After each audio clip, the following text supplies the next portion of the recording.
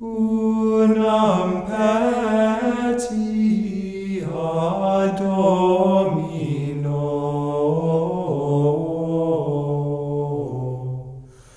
Ac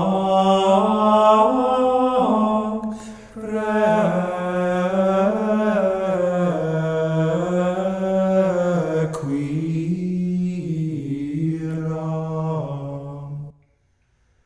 uti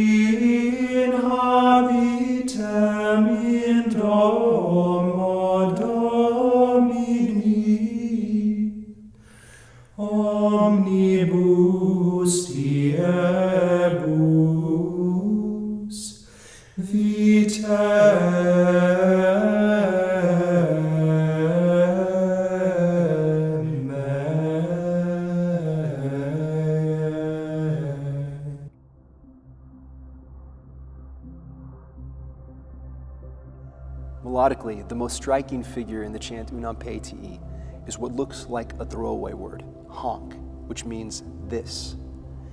Why would such a word carry such weight? Well, hanc is a reverberation of the very first word of the chant, unam, which means one thing. That is, dwelling in the house of the Lord. In the New Testament, Christ would say to one of his closest friends who had forgotten this, You are concerned about many things. One thing is needful. And we too need to remember this hanc, this one thing.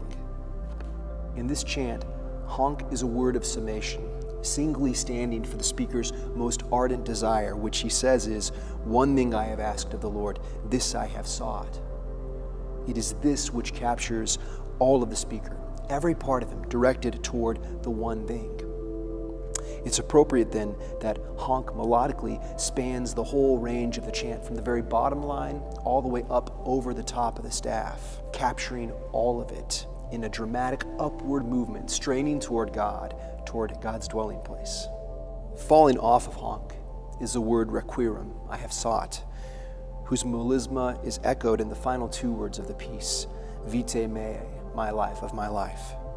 The string of notes captured in these two words extends out like a span of days, coming to a resting place at the very end on the final of the piece. It's in this true resting place that a life of seeking ends comes to its natural conclusion, living in the Domo Dominus, the house of the Lord.